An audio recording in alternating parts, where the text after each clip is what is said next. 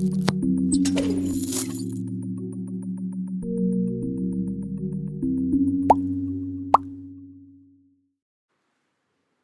we are back now, uh, taking our discussions on the impact of constitutional law and criminal law a little further.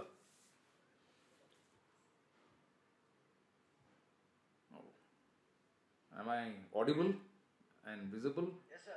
Very well. Yes, sir. Yes, sir. Yes, sir. Yes, sir. So now we'll go ahead from our discussions on the last occasion. We had started the discussion on this topic by looking into Article 13 of the Constitution so that we could try and understand the concept of what the Constitution envisages in relation to what a law itself is. So we dealt with those aspects on the last date of hearing, and we also had an overview of certain landmark judgments. We started with, uh, if I remember correctly, uh, we started with uh, the Golaknath's matter when we talked about the aspect as to whether an amendment would be a law within the ambit of Article 13 and saw its progress from Golaknath to Keshavananda Bharati to Minerva Mills. That was one aspect. Now, today, I go into the heart of the Constitution in a way, what I term as one provision of the Constitution which is so vital to its being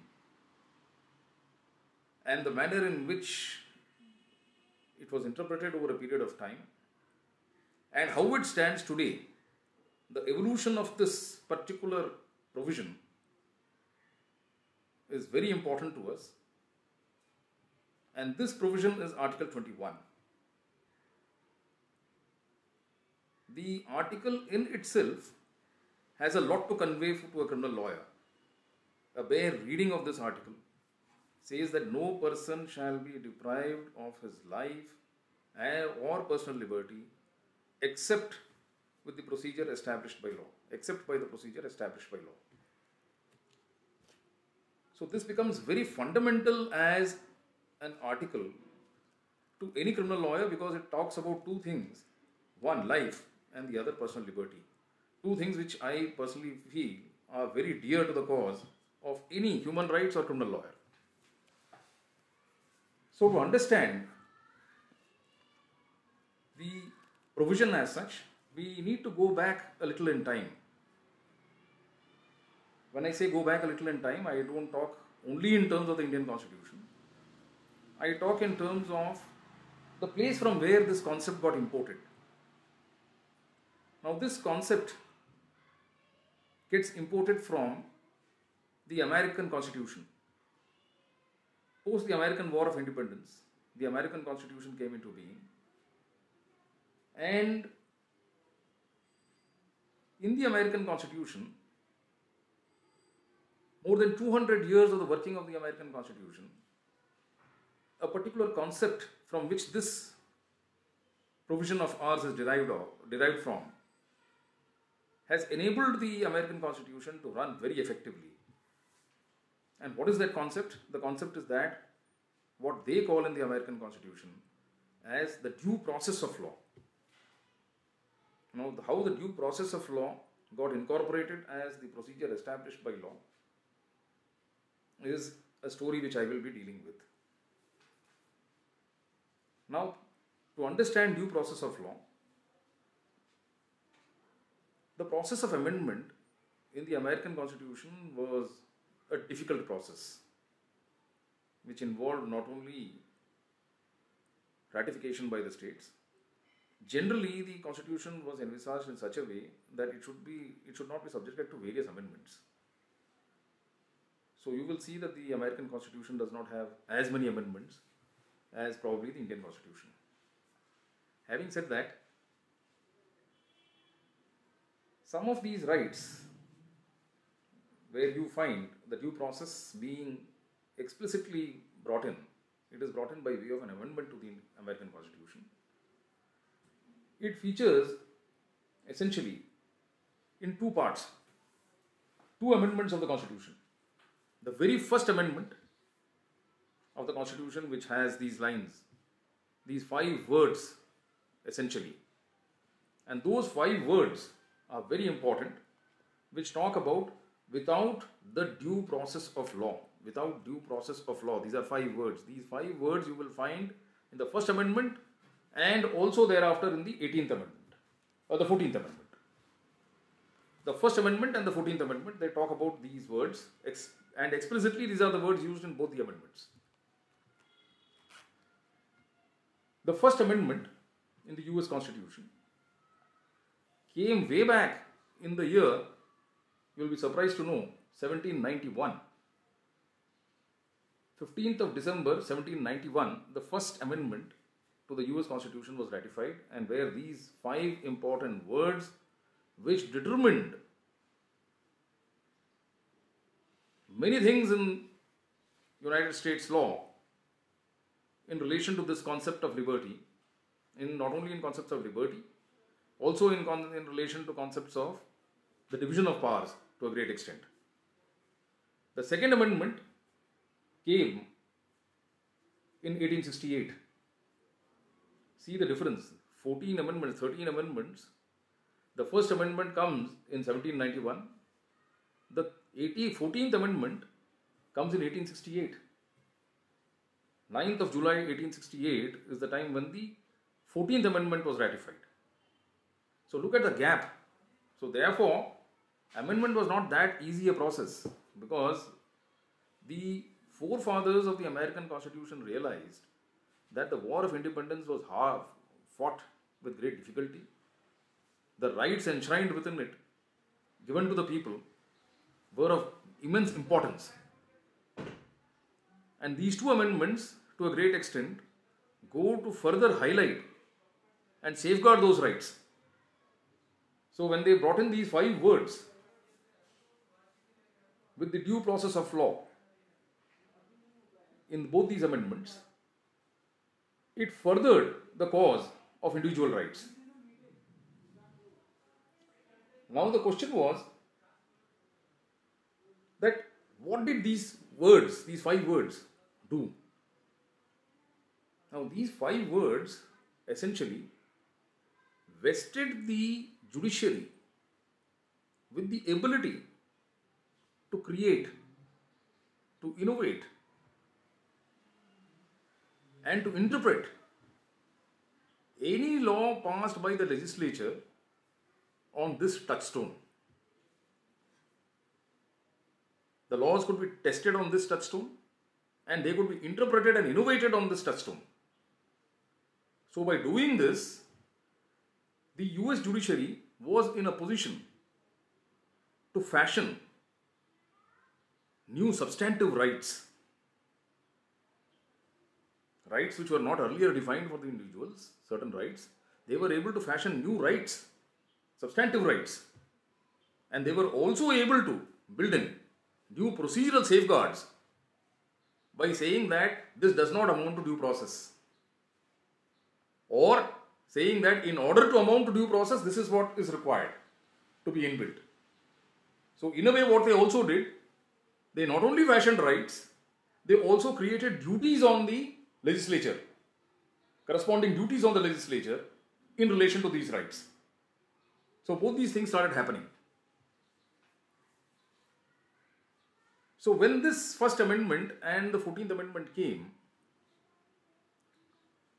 there, there in the United States, they also witnessed a spurt in litigation where laws made by the legislatures were challenged on the basis of this principle.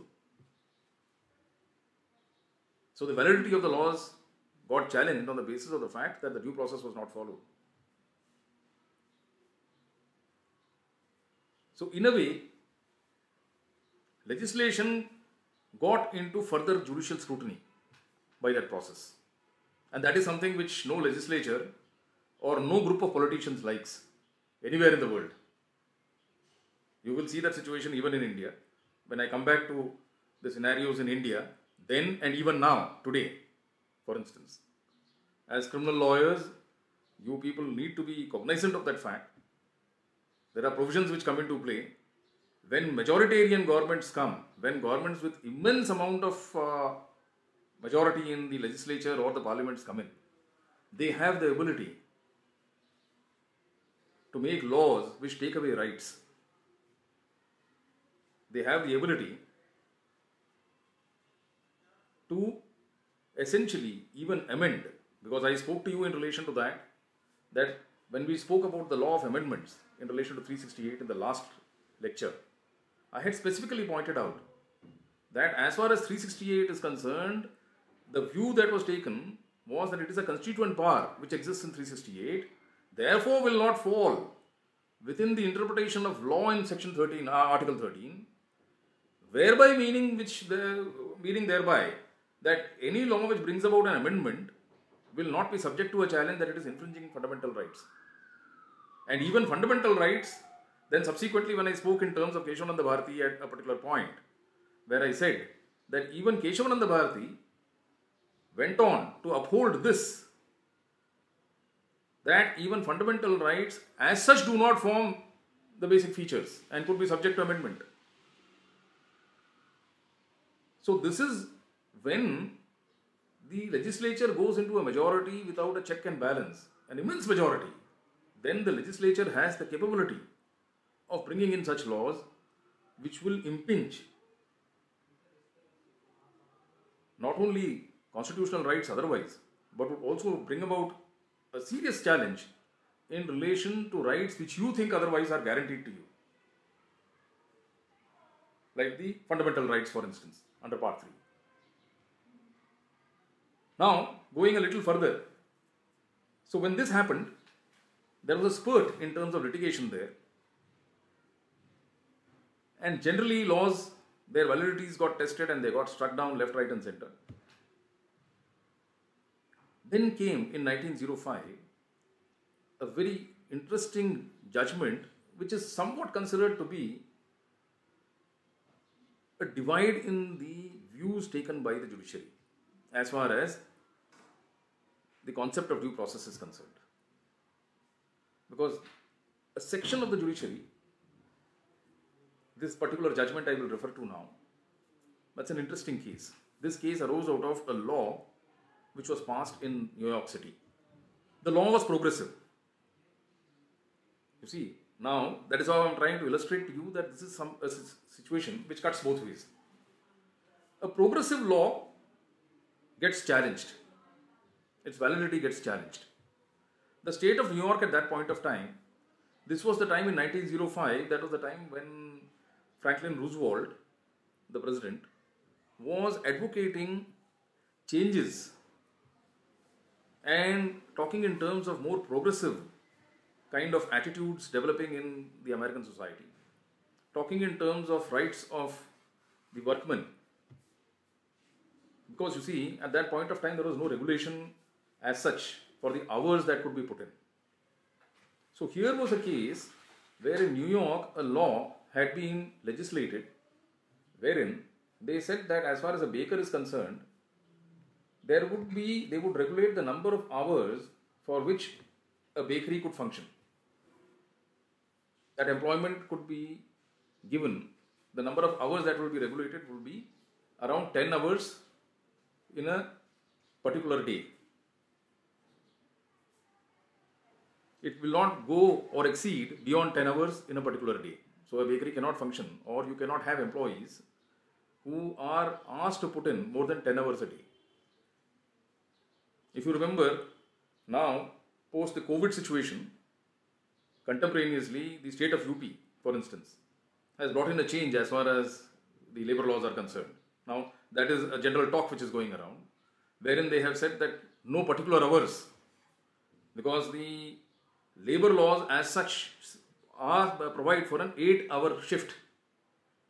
As far as any workman is concerned, he cannot be subject to a situation where he is put to work beyond a period of 8 hours because it affects his mental health.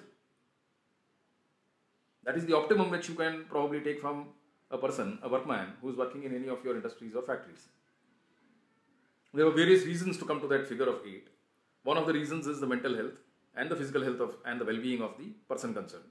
So similarly, keeping this in mind, the state of New York had passed a bill and made a law stating this restricting the hours to 10 a day and 6 days in a week.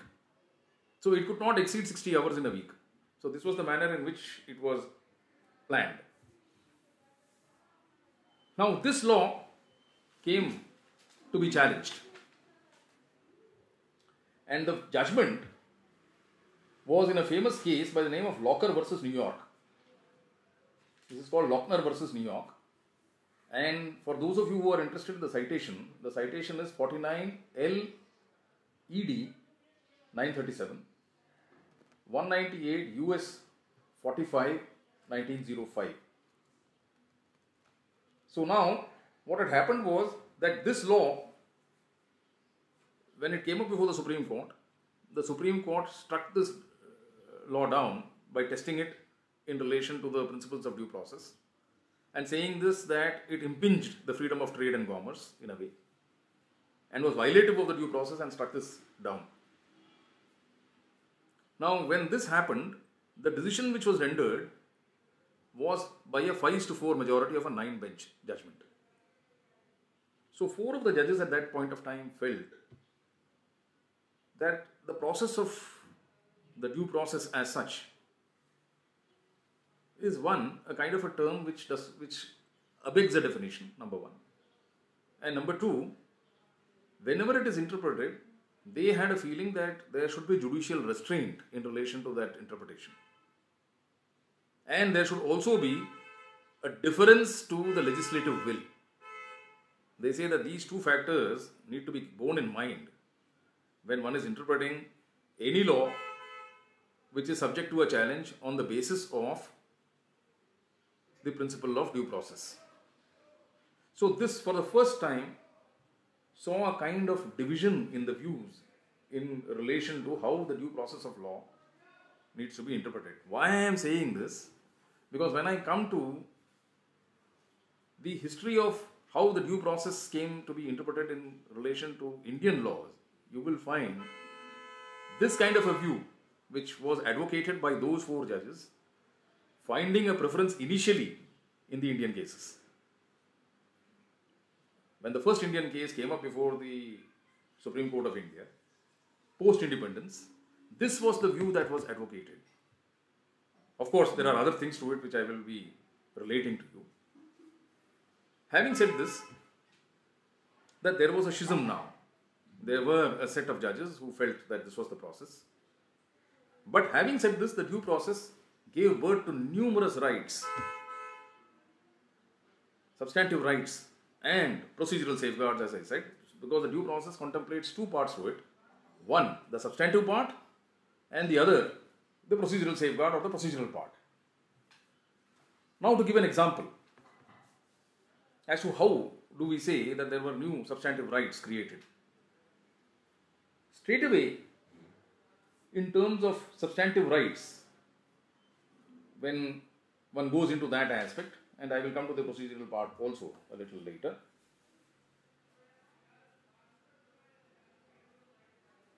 You can see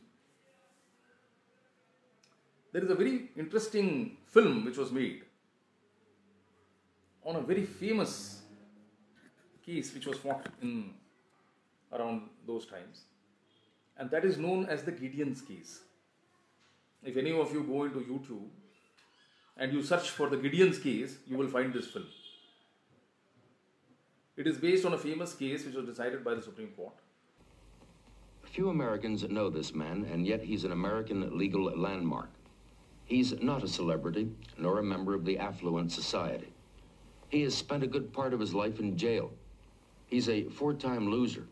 You might say a born loser. But once, just a short while ago, he took on the county courts and the lawyers and the wardens and the jails. He took on the state courts and the Supreme Court and the state governments and the federal government and the United States Constitution. And he hit it big. His name is Clarence Earl Gideon. I'll just give you the basic facts. It's very interesting. There used to be a man by the name of Gideon. And Gideon essentially was a vagabond. He didn't have much to do. One fine day, there was a robbery at the bar. At a bar which also had a shop, there was a robbery there. Gideon was a vagabond and known to the police. Gideon would also frequent the bar once in a while. The police were unable to solve the mystery of the robbery. So, what did they do? Normally, you have seen that happening in cases in India also. They went and picked up Gideon. They picked up Gideon and implicated him. And told Gideon that, okay, now this case is against you, and this charge of robbery is there against you. Now you defend yourself. So when Gideon's came came up for trial, the judge asked Gideon whether he had any lawyer to represent himself. Now Gideon was a vagabond, he was a free man, he was a poor man. So he said that I don't have a lawyer. Now interestingly, the judge said, all right, then here the witnesses are going to be examined. He told the prosecution to call for the witnesses. The witnesses were examined. And obviously, since they were tutored, they pointed out at Gideon. And the judge said that you can cross examine him. There was a jury also. And Gideon obviously did not have the wherewithal to cross examine. So he asked one or two questions here and there and could not understand the import. Though he had pleaded innocent to the charges, yet the jury and the judge found Gideon to be guilty. And he was awarded a sentence. Now, post the sentence, he lands up in prison. And while this sentence was being undertaken by him, he meets certain other prisoners who were a little more aware of their rights. And he discusses the issue with them and tells them that, look, I was completely innocent, I did not commit this robbery. But then here was a trial which went on where I did not know anything. There were some witnesses who came and they said that I was involved in it and I did not know what to do. And since I did not have any lawyer, I couldn't afford one, and I was unable to cross examine them effectively or otherwise.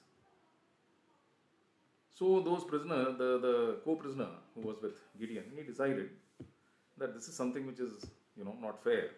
So, he wrote a letter. They penned a letter and addressed it to the United States Supreme Court. If you recollect, even in India, somewhere in post 1980s, the Supreme Court of India also started entertaining PILs, public interest litigations, by way of letters. Justice Bhagwati, if I remember correctly, is the first man who did it. So when that happened, the Supreme Court of United States at that point of time used to gather together in the chambers all the judges and they would decide the matters accordingly. This letter was placed and they looked into the letter and they decided to take up the issue. They took up, took up the issue and they passed a ruling that a trial which went without representation and that too of an indigent person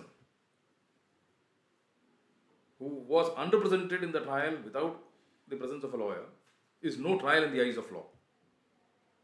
So they quashed the proceedings in a certiorari. They issued a writ of certiorari and quashed the proceedings of the trial court, saying that this is no trial in the eyes of law. And they enjoined a duty on the state that whenever there is an indigent person who comes and who is not represented, it is the duty of the state to provide a counsel or a representation for him in trial. So, this is where that right, that substantive right, was innovated and brought in by way of the interpretation of due process. But they said that due process of law has not been followed. A fair trial has not been given, due process has not been followed. So, for, the, for following the due process, you need an effective representation by way of a counsel. And the effective representation was given to him, and he was thereafter again defended in the trial. That, of course, is besides that he then subsequently secured an acquittal. But that is not what is important in this case. What is important in this case is that a substantive right of representation was fashioned by the Supreme Court by interpreting due process. Now, having said this, I come to the second part. I have now given you an example of a substantive right being fashioned. I am now giving you an example of what would be termed as a procedural right being fashioned. But before I do that, I will just give you the citation of uh, Gideon versus the state. Those of you who will be interested can look into this judgment. It's a very interesting judgment. And then I will talk in terms of the second part. I'll just give you the judgment. Let me just locate it. But the second procedural safeguard that I was talking of again got thrown up from a criminal matter. So that is why I chose Article 21 because this is the lifeblood, according to me,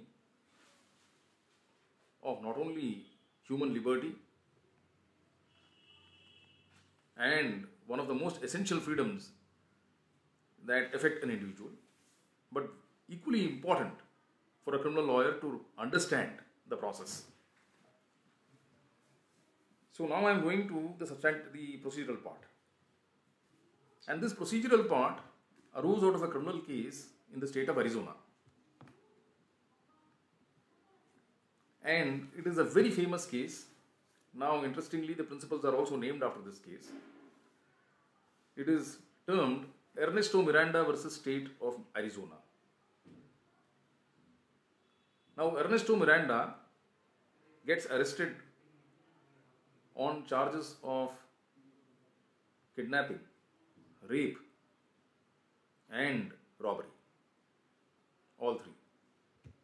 He is picked up by the police, detained overnight. And during the course of the detention,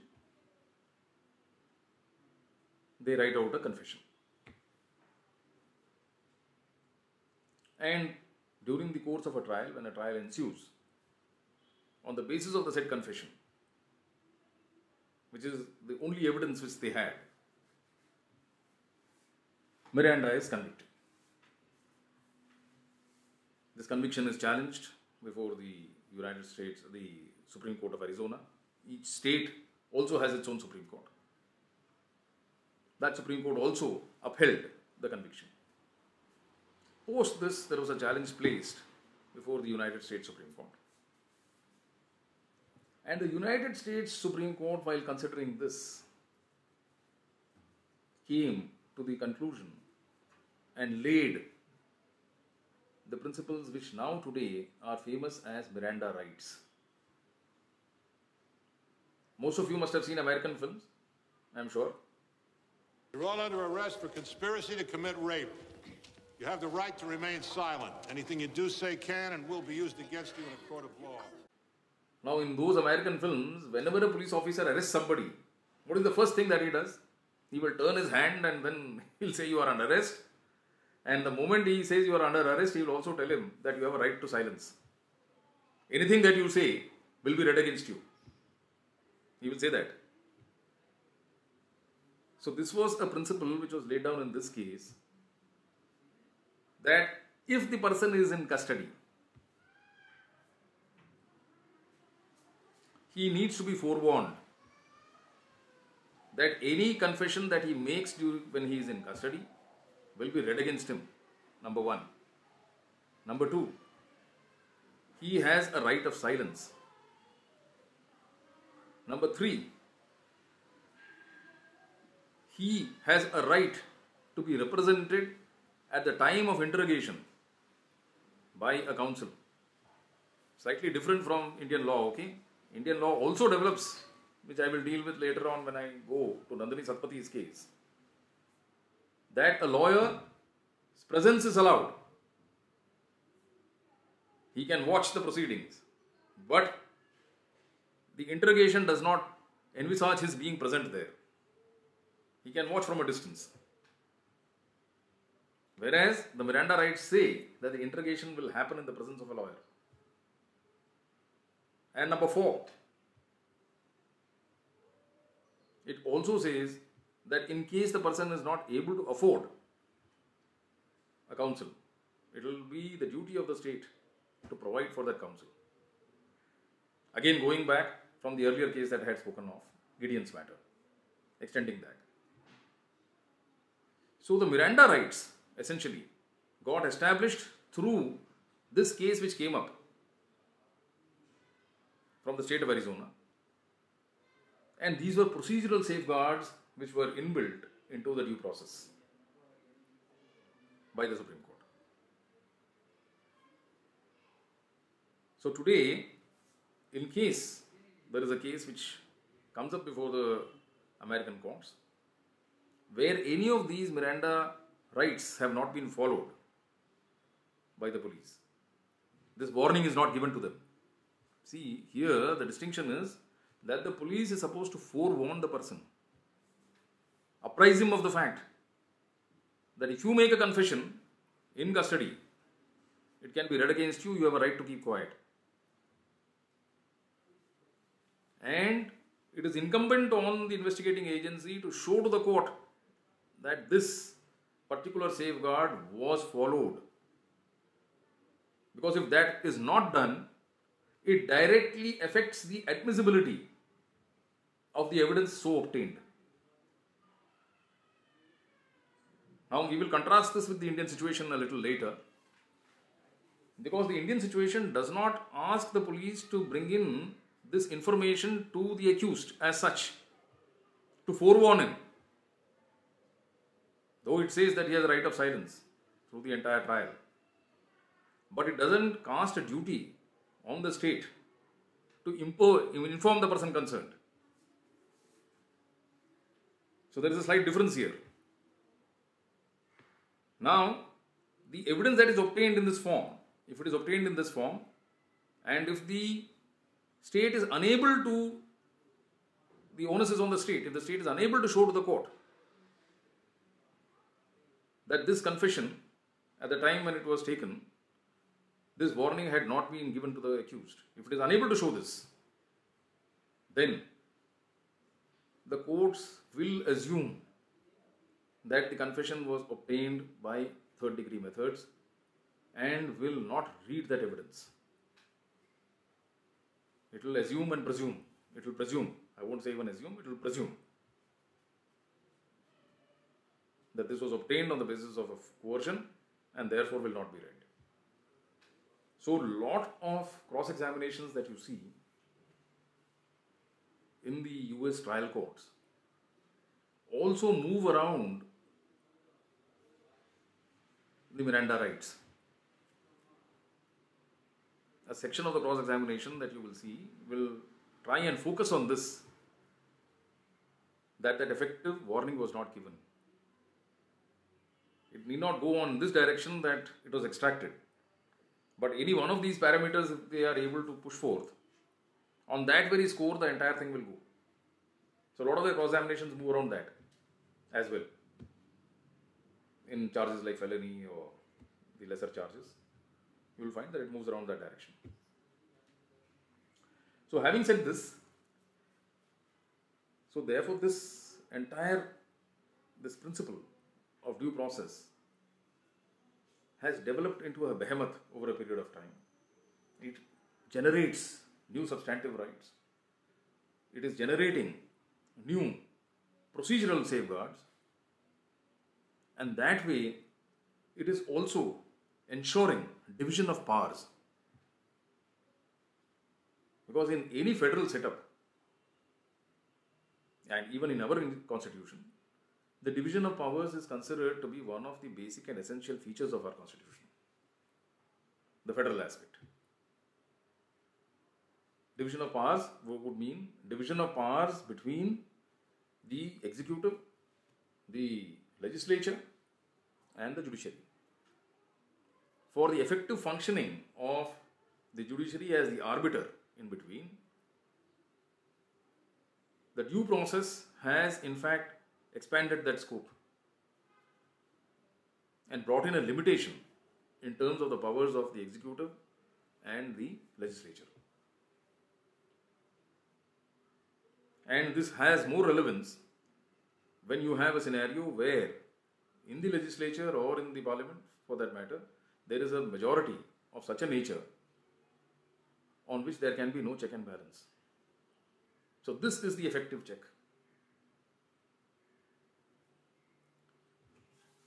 So having spoken about Miranda and having spoken about Gideon, interestingly there is another substantive right which we will find a reflection in terms of what we see when we see a comparative development in relation to that in India. And that is in relation to the aspect of a punishment which is awarded as far as a capital sentence is concerned.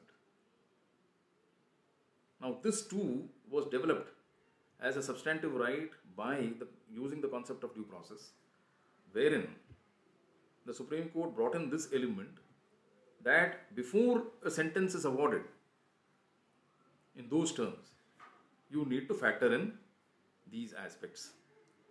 You need to factor in the circumstances in which the crime took place. So, with this, I will end this particular lesson, uh, this particular lecture, in terms of the development towards our procedure established by law and the due process of law, how it came into being as far as the Indian constitution is concerned, which will form a part of the next lecture.